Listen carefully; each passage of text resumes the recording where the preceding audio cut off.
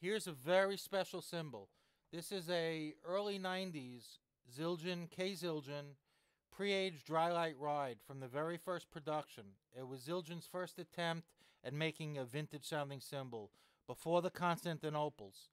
Um, they call it dry light ride. Most of these were not light at all. Uh, the 20s, I had many of them, uh, were around 2150 to 2250 grams. This one's only 1920. Okay, it's a true thin light one. I had about six or seven dry light rides. I had two 18s. I had three 20s and two 22s. They were all very nice cymbals. Um, I sold them all, I traded them all, and uh, the guy that bought this one was a rock and roll drummer. He wanted to use it as just a crash only. Um, he bought it, threw it in the back of his car. I said, please put it in a cymbal bag. He said, no, don't worry about it. I said, I want this one back if you ever don't want it.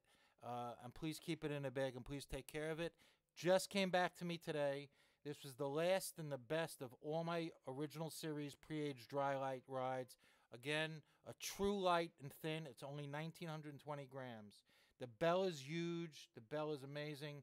It rides, it crashes, everything. This this cymbal, they got it all right. Here we go.